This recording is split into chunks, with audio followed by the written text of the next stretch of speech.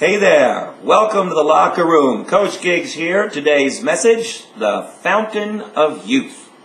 The fountain of youth.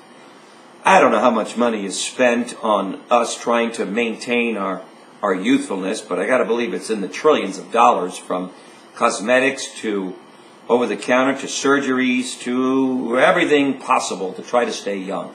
But I love what Henry Ford said about youth. He said this anyone who stops learning is old, whether 20 or 80. Anyone who keeps learning stays young. It's so true. The most exciting, fun, and successful people on the planet are those who commit to a lifetime of learning. They've discovered the fountain of youth.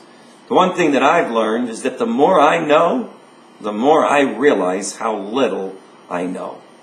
So I keep learning. And in so doing, I believe I'm staying very youthful. And so set aside time today and every day for learning more today than you knew yesterday.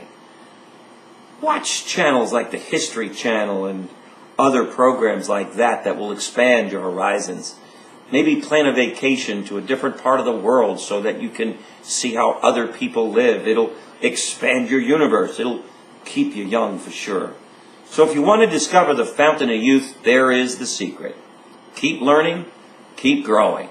Because the people who do, they stay young.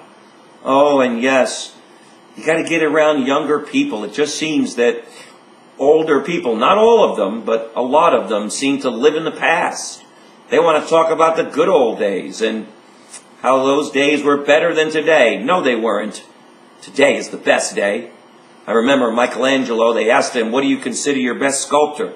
Sculpture, he said, the one I'm doing right now. And so therein lies the fountain of youth. Keep learning, keep growing, get caught up in the moment, and let's all live our very best life in doing so, and we'll stay young all the days of our lives. See you tomorrow in the locker room, gang. And remember the fountain of youth.